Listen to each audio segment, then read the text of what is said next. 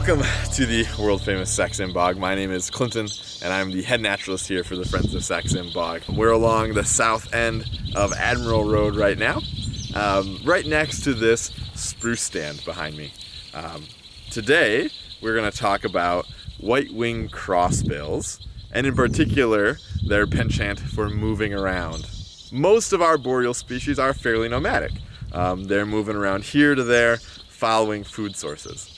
Um, crossbills, I think, are best known for that behavior. Um, it influences their breeding, it influences where you find them, and it influences when you're going to find them. Now, crossbills have the unique uh, distinction of basically being able to breed in whatever month they can. Um, food is their driver. It drives where you can find them in the summer, where you can find them in the winter, and where you can find them nesting. And so behind us, um, we're looking at a stand of black spruce. There's, there's some mixed tamarack as well, which is one of the main floristic components of the Sax-Zim bog. And these trees in particular, very important to white-winged crossbills in particular. Both of these trees have very small cones. White-winged crossbills have a slender, smaller crossbill than their cousins, the red crossbill. So the Sax-Zim bog is a very, very good place to find white-winged crossbills over red crossbills. Now, behind me, again, at the tops of these trees, you're going to see these little brown masses of cones. And if you're looking for crossbills, that's one of the first things you should look for. Look for this food.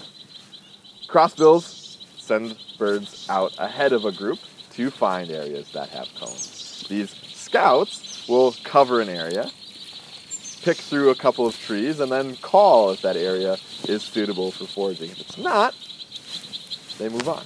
They move on to the next set of trees, which oftentimes can make it frustrating to try to find these birds, especially in a big area like the Sax-Zim bog. Now, once these crossbills find an area that has a lot of food, those bills go to work, those namesake crossed bills. Now, what they'll do with these bills, jam them in under that cone and simply open. That opening motion twists the cone open, their muscular tongues go in, pull that seed out very efficient. They'll lose one in a thousand good seeds, and they can tell almost instantly if that seed is good or if it's bad.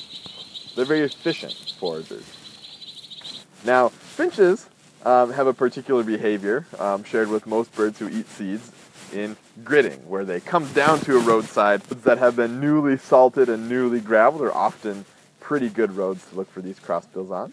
Um, 133, Highway 133 on the south side of the bog is a great place.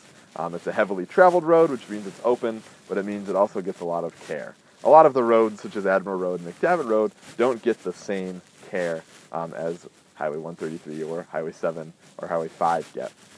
Good places to look. But these birds have to come down to these roads. Um, they're often limited in their diet and other things too, like salts.